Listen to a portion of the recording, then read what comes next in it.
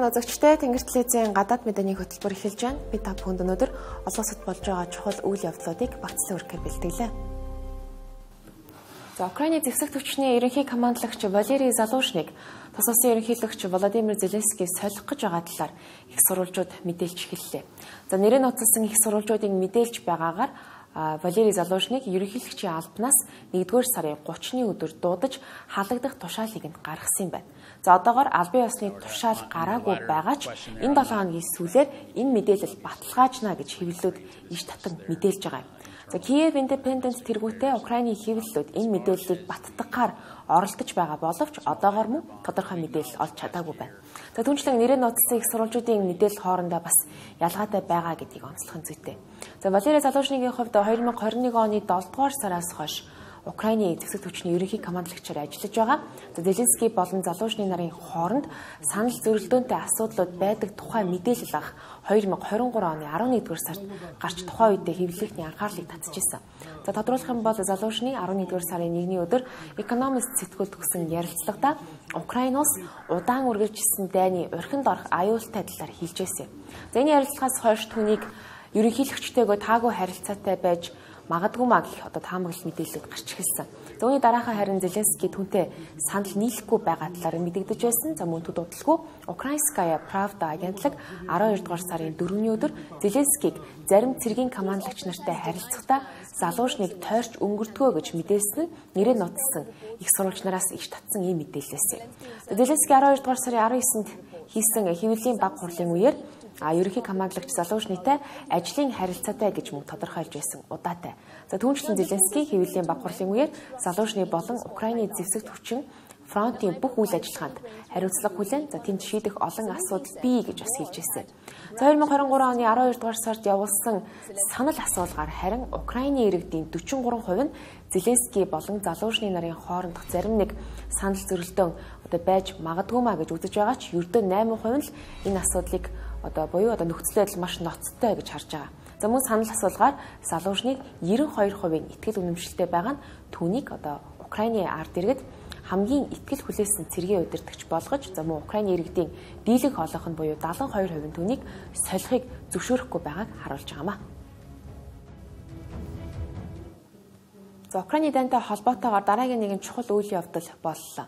За Европын зөвлөл Украинд үзүүлэх тусламжийн төсвийн талаар хэлэлцгээр өчигдөр Брюссельд ээлжид бусаар чуулсан. За би та бүхэнд энэ талаар мөн мэдээлсэн. Тодруулах юм бол Европын зөвлөл өнгөрсөн оноос эхлэн олон одоо удаа энэ асуудлаар хуралцсны эцэст нөхцөл байдал Украины талд ийхүү нааштайгаар шийдэгдэж Европын холбоо Украин улсад урт хугацаатай санхүүгийн тусламжийг үзүүлэхээр болж байгаа юм. За тусламжийн багцын талаар тодруулах юм бол дайны улмаас хүндхэн байдалд орсон Украины эдийн засгийг дэмжихэд гол зорилго нь оршиж байгаа. За ингэхдээ 2024-өөс 2027 оны хооронд буюу 4 жилийн хугацаанд нийт 50 тэрбум евро. Өөрөөр хэлэх юм бол одоо Украин улсын жилийн нийт төсвийн 4-ний 1-тэй тэнцвэр хэмжээний ийм тусламжийг үзүүлж байгаа. За задаргааны хувьд гэвэл 33 тэрбум евро нь баг хүүтэй зээл хэлбэрээр 17 тэрбум евро нь буцалтгүй тусламж хэлбэрээр байгаа юм. За Европын холбооны төсвийг Европын парламент Европын зөвлөлтөд хамтран баталдаг. А Европын зөвлөл нь гишүүн 27 орны ерөнхий сайд нарын бүлэг бөгөөд төсвийн тухай альва бодлого шийдвэрт гишүүд бүгд санал нийлсэн байх ийм шаардлагатай байдаг. А тиймээс ч Европын зөвлөл ээлжид бус чуулахаар болсонтой холбогдуулан олон нийтийн анхаарал Унгар улс руу чиглээд байсан. За учир нь төсвийн санал хураалтанд Унгар улсаас эсэргүүцсэн санал ирүүлэх өндөр магадaltaй байсан. За Унгар улсын ерөнхий сайд Виктор Орбан нь чуулган болохын өмнө хит хит удаа Украинд тусламж үзүүлэхийг эсэргүүцэж байгаа гэдгийг нээлттэй илэрхийлж байсан. За учир нь Унгарт хүний эрхийн зөрчил газар авч яана гэх юм шалтгаанаар одоогоос жил гаруй хугацааны өмнө Европын холбоо Унгарийн 32 тэрбум еврог зарцаасан. За одоогоор үүний 20 тэрбум нь харин чөлөөлөгдөөгүй хിവэр байгаа юм. За энэ хөрөнгийг одоо Украинд тусламж үзүүлэхэд ашиглаж магадгүй ч гэж Виктор Орбан мөн ихээхэн болгоомжилж байсан. За бодлоо өөрчилсөн шалтгааныг нь харин түүнээс тодруулахад тэрээр Украины тусламжийн багцад Европын холбоонд дах Унгарын хөрөнгийг ашиглахгүй болсонтой холбоотой их тайлбарыг өгч байна. За үүнээс харах юм бол өчигдрийн чуулганы үеэр Европын зөвлөл Унгарын зарцсан хөрөнгийг ойрын хугацаанд чөлөөлөх төлөвлөгөө байхгүй ч гэлээ Украинд үзүүлэх тусламжийн багцыг санхүүжүүлэхэд ашиглахгүй гэх амлалтыг Виктор Орбанд өгсөн гэж одоо дүгнэж болохоор байна. За ийхүү урт хугацаанд үргэлжилсэн маргаан ихтэй яриа хэлэлцээнүүдийн үр дүнд Украин Европын албанаас томоохон хэмжээний дэмжлэг авах нь тодорхой боллоо. Энэ мэдээ татагдсан даруйд Украины засгийн газрын долларын бондны үнэлгээ өсөж эхэлсэн. За Украины улс тусламжийн багцын эхний хэсэг болох 4.5 тэрбум Америк доллар тусламжийг эх сард хүлээж авах төлөвтэй байгаа юм. За Украины ерөнхийлөгч Володимир Зеленский Европын албаны удирдлагуудад дүрс бичлэгээрээ дамжуулан талархлаа илэрхийлсэн. За энэ хүү тусламжийн багц Европын зөвлөлөөр дэмжигдэхэд харин Германы канцлер Олаф Шолцын үүрэг их байсан гэдгийг албаныхан хэлж байна. За тэрээр чуулганы дараагаар Америк нэгдсэн улсын ерөнхийлөгч Жо Байденд хандаж Европын холбоотой адилаар Америкийн нэгдсэн улс ч мөн адил Украинд үзүүлэх тусламжаа нэмэгдүүлэх хэрэгтэй хэмээн уриалсан байна. За мөн Франц улсын ерөнхийлөгч Эммануэль Макрон Европын зөвлөлийн шийдвэрийг ихэд сайшааж Европын холбооны гишүүн орнуудын эв нэгдлийг баталж харуулсан ийм үйл явдал боллоо хэмээн байр суурь илэрхийлсэн. За хэдийгээр ийхүү Европын холбоо Украины талд гэдгээ дахин баталж санхүүгийн тусламж үзүүлэхээр болсон ч гэлээ зэвсгийн тусламжийн тухайд санал нийлж чадахгүй хിവэр байгаа. За Европын холбооны гадаад харилцаа аюулгүй байдлын бодлогын асуудал эрхэлсэн дэвтлүүлэгч Жозеф Боррелийн мэдээлснээр эх сард 1 сая артиллерийн сумыг Украинд нийлүүлэхээр төлөвлөж байсан биелэх магадлал тун бага байна гэсэн юм. За Европ тулгамдаад байгаа дараагийн асуудал бол фермерүүдийн жагсаал. За тэгвэл пүрэв гарагт Францын фермерийн үйлдвэрчний эвлэлийн хамгийн том тооцогдох хоёр төлөөллийн зүгээс эсэргүүцлийн жагсаалаа зогсоож улс даяар үүсэт байгаа замын төгжрлийг өндөрлүүлэх ийм шийдвэр гаргалаа. Өөрөөр хэлэх юм бол тэдний зүгээс фермерүүдийг эсэргүүцлээ зогсоохыг уриалсан байгаа. За харин илүү өргөн цар хүрээтэй FNC гэх ийм үйлдвэрчний эвлэлийн зүгээс фермерүүдийн хөдөлгөөнд зогсоогүй за арай өөр замаар идэвхтэй өрнөх болно гэсэн юм. За Францны үйлдвэрчний эвлэлүүд эдгээр мэдээллийг хийхийн өмнө Францын шинэхэн ерөнхий сайд Габриэл Атал фермерүүдэд хит хитэн хөнгөлтийн санал санал тавьсан. Тухайлах юм бол мал аж ахуй эрхэлдэг фермерүүдэд жил бүр 150 сая евро олгох. За Францад аль хэдийн хариулагдсан неоникотиноид одоо пестицид буюу тиаклоприд агуулсан хүнсний импортыг хориглох зэрэг арга хэмжээ багтсан юм. Зарим эсэргүүцлээ илэрхийлж байгаа фермерүүд дахин нэг өдөр автозам хааж засгийн газар амлалттай хүрэх хэсгийг ажиглана. За бидэнд амлалт бус бодит үр дүн хэрэгтэй байна гэж одоо шаардсан. За үйлдвэрчний эвлүүдийн зүгээс засгийн газар амлалтаа хэрхэн хэрэгжүүлэхийг яг тянана гэж мөн мэдгдсэн байгаа. За үүнээс гадна Пүрэв гарагт сая дурдсанчлан Европын зөвлөл Украинд зөвлөх тусламжийн төсвийн талаар хилэлцгээр Брюсселд ээлжид бусаар чуулсан. Харин энэ үеэр сая дурдсанчлан Францын фермерүүд автозам хаах эсэргүүцлээ үргэлжлүүлж зогсоогоогүй. За мөн зөвхөн Франц гэлтгүү чуулган одоо болж исэн Брюссел хотын төв замуудыг 1300 гаруй трактор хаасан байгаа юм. Өөрөөр хэлэх юм бол Францын фермерүүдийн эсэргүүцэл өргөжөж Европын бусад орнууд руу тархаж эхэлж байна гэж одоо харж болохоор байна. За Брюссел хотод цугласан фермерүүд Европын парламентын байр руу өндөг болон чулуу шидэж гал хасаасан за жагсагчид хаалт нураах зэрэгээр хит замбраагүй одоо нөхцөл байдлыг үүсгэж байсан учраас цагдаа нар ус шүршигч нулимс асгаруулагч ашигласан байна. Тэгээ фермерүүд Европын хөдөө аж ахуйн салбарт яаралтай анхаарлаа хандуулах цаг ирсэн болохыг ийхүү зөвхөн одоо Францад гэлтгүй Европын албаны удирдагчдад бүгд чуулсан байх үед нь ингэж одоо харуулж байгаа юм. За фермерүүдийн зүгээс хангалттай төлбөр мөнгө авахгүй байгаа. За мөн татвар болон ногоо хөгжлийн бодлогод тэдэнд дарамт болж байгаа. За мөн шудраг бас өрсөлдөөн үүссэн гэцгэж байгаа. За Европын зөвлөл чуулгаас өмнөхөн Францын ерөнхийлөгч Эммануэль Макрон Европын комиссийн ерөнхийлөгч Урсула фон дер Лайентэй уулзсан бөгөөд энэ үеэрээ тэд Европын фермийн салбарын ирээдүйн талаар хэлэлцсэн гэж их сурвалжууд нь мэдээлж байна. Дараагийн мэдээ. За Япон улсын бэлэг тэмдэг болсон Фужи уулыг одоо зорж байгаа хүмүүсийн тоо хэд өссөн учраас Фужи уул руу авирах гэж байгаа иргэдээс замун жуулчдаас төлбөр авч эхлэхээр болсон талаар Кyoto News-ыг антлаг онцоллоо. Тодруулах юм бол 3776 м өндөр Фужи уул нь Шизуока муж болон Яманиши мужийн нутаг дэвсгэрт байрладаг. За харин Фужи ууланд авирах хүсэлтэй хүмүүс ихэнх тохиолдолд Яманиши мужид 5 дахь буудлаар дамжин гардаг юм байна. За учир нь энэхүү 5 дахь буудал нь 2400 м-ийн өндөрт байрладаг тул авирахад одоо илүү амархан явган үний замтай байдаг.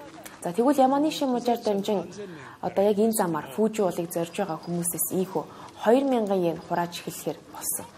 За хураамжийг энэ зунаас эхлэн авч эхлэх бөгөөд хураамжаас бүрдсэн мөнгийг харин аюулгүй байдлын санд зарцуулах болно гэдгийг тусмажийн захиргаанаас мэдээлсэн. За түүнчлэн жуулчид болон уулчдын тоо хит өсөд зогсохгүй эрсдэлтэй аялал хүний тоо дагаад өссөн болохыг сүүлийн үед тусмажийн захиргаанаас мөн анхааруулж эхэлж байгаа. Тухайлах юм бол иргэд болон жуулчид Японы хамгийн өндөр оргил руу одоо замдаа хонолгүйгээр нэг өдрийн дотор шууд авирахыг оролдох болсон. За иймд Яманы Шиможийн захиргааны зүгээс түрүүнд дурдсан 5 дахь буудал дээр хаалт байрлуулж өдрийн 16 цагаас үүрийн 3 цаг хүртэл мөн хяналт тогтоох болжээ. За зөвхөн хоног төрүүлэх газраа урьдчилан захиалсан хүмүүс л одоо эдгээр цагуудад нэвтрэх боломжтой болж байна гэсэн. За одоогоор Фужи уул руу авирч байгаа хүмүүсээс мянган йеныг сайн дурын одоо хүсэлтээр үндсэн дээр төлөхийг уриалдаг. За мужуудын захиргааны зүгээс үүнийг уулын зам харгууг засаж янзлахад зарцуулдаг гэж тайлбарладаг. Өөрөөр хэлэх юм бол энэ зунаас эхлэн Фужи уулыг Яманы шимужаар дамжин зорих хүмүүс 2000-аас 3000 йен буюу Монгол мөнгөөр 47-оос 70 мянган төгрөг одоо төлөхөр болж байна гэсэн. За зарим Яманы шимужийн иргэд болон Фужи ууланд одоо бизнес эрхэлж ажилладаг хүмүүс үүнийг хит үнэтэй байна гэж бас шүүмжилцгээж байгаа. За харин илүү нам дор явган үний замтай Шизуока мужийн зүгээс сайн дурын хүсэлтээр авах 1000 йенээс гадна нэмэлт төлбөр авах төлөвлөгөөгүй байгаа гэдгийг зарласан юм. За сонирхолтой Фужи нь 2013 онд ЮНЕСКОгийн дэлхийн соёлын өвд албан ёсоор бүртгэгдсэн. За үүнээс хойш Фужи уулыг зорих жуулчдын тоо огцон өссөн. Тухайлбал 2023 онд нийт 221 мянган гаруй хүн Фужи ууланд гарч цар тахлын өмнөх түвшинд хүрсэн байдаг. За нэмж дуртахад Фужи уул нь хөвчлэн 7 дугаар сараас 9 дугаар сарын ихэнх хүртэл уулчдад нээлттэй байдаг.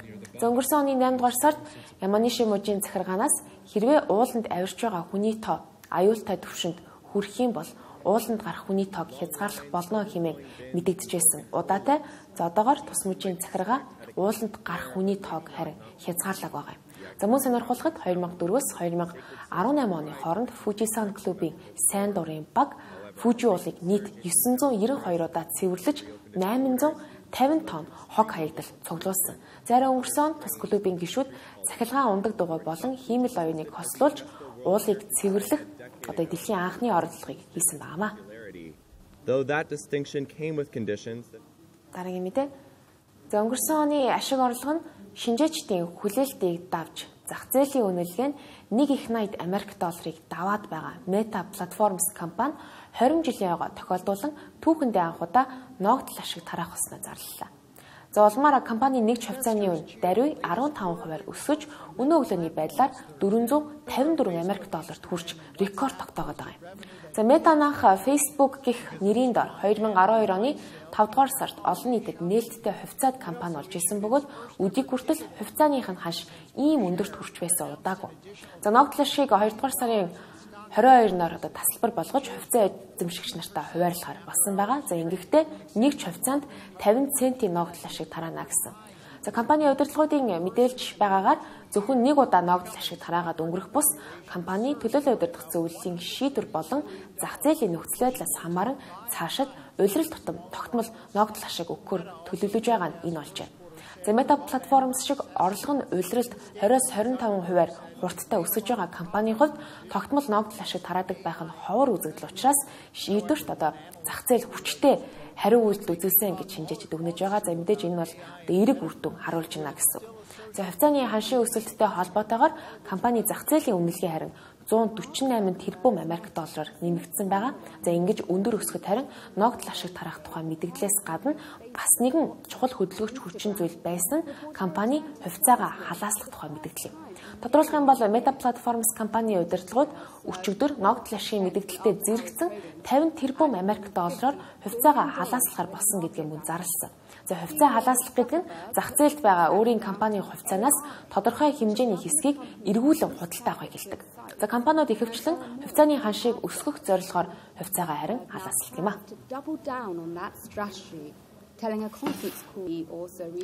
Хөтөлбөрийн төгсгөл үзэж та бүхэнд дэлхийн тойронд болж байгаа бусад үйл явдлуудыг товчоор хүргэе. Шри-Ланканд онлайн контентыг зохицуулах хатуу хууль хэрэгжиж эхэлсэн нь үг хэлэх хэрэгчлөөг боомлох зорилготой гэж хүний эрхийн бүлгүүд шүүмжилж байна. За энэхүү цахим аюулгүй байдлын тухай хууль нь засгийн газраас томилсон комист тухайн контентын агуулгыг үнэлж цаашлаад устгах эрхийг нь олгож байгаа юм.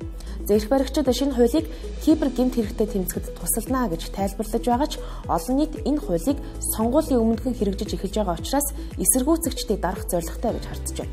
За 2022 онд тухайн үеийн ерөнхийлөгчийг огцруулсан эдийн засгийн хямралын үеэр Шри-Ланкад олон нийтийн мэдээллийн хэрэгсэл эсэргүүцлийн жагсаалд гол үүрэг гүйцэтгсэн байдаг. Пакистаны ерөнхий сайд асан Имран ханд дахин 14 жилийн ял онолоо. Энэ удаа түүнийг 2018-аас 2022 оны хооронд ерөнхий сайдын албан албан тушаалыг хашиж байхдаа эхнэр Буушра Бибигийн хамтаар төрийн сан тушаах ёстой билээ худалдан борлуулсан гэх хэрэгээр буруутгасан юм. За тэрээр өнгөрсөн 8 дугаар сараас хойш мөн хэд хэдэн шалтгаанаар ийхүү хоригдож байна. Түүнчлэн ердөө 1 хоногийн өмнө түүнд улсын нууц задруулсан хэрэгээр 10 жилийн ял оноогод байсан юм. За энэ бүхэн Пакистаны бүх нийтийн сонгуул болохоос ердөө 7 хоногийн өмнө болж байгаа гэдгийг хэвлэлөөр тодтогч байна. Оскарын наадмын шилдэг эрэгтэй эмэгтэй гол дүрийн шагналал нь тус наадмын хамгийн хүлээлт өндөртэй шагналуудын нэг байдаг бөгөөд энэ жилч өрсөлдөөн өндөр байна. За өнгөрсөн 100 борлуулалтаараа тэргүүлсэн Барби киноны Барбигийн дүрийг бүтээсэн жүжигчин Марго Роби тус номинацид нэр дэвшиж чадаагүй. Харин алдарт найруулагч Мартин Скорсесийн Killers of the Flower Moon киноны хөрөнгөтэй уугуул эмэгтэй дүрээр жүжигчин Лили Гладстон шилдэг эмэгтэй гол дүрийн шагналыг авах хамгийн магадлалтай нэр дэвшигчээр тодорхой байна. За Лили Гладстонтэй зэрэгцэж жүжигчин Emma Stone мөн хүчтэй өрсөлдөж байгаа. За dark comedy төрлийн Poor Things киноны Bella Baxter-ийн дүр жүжигчин бүсгүйд нэг төрөлд хоёр дахь Оскарыг нь авчирч мөн магадгүй гэдгийг шинжээчид хэлж байгаа юм. Jewel in the Palace буюу бидний нэрлэж заншснаар Дээжангу Молон ангит киноны 2 дугаар бүлэг хийгдгэр болжээ. За тус цувралын зохиолч нартай гэрээ байгуулсан бөгөөд Дээжангумын дүрээр олон нийтэд танигдсан жүжигчин Ионе шин цувралд дахин өөрийнхөө дүрийг бүтээхээр болсон батлагдсан байна. За зураг авалт 10 дугаар сард эхлэх гэж байгаа ба дараа жилээс цацгаар болсныг их сурвалжууд мэдээлж байна. За шин цуврал нь хааны анхны эмэгтэй хотчийн амьдрал түүний талаар өгүүлгэжээ. Үзэгч та бүхэнд Тэнгэр телевизийн баасан гарагийн гадаад мэдээний хөтөлбөр хүрлээ. Дараагийн мэдээгээр уулзтлаа. Түр баяртай.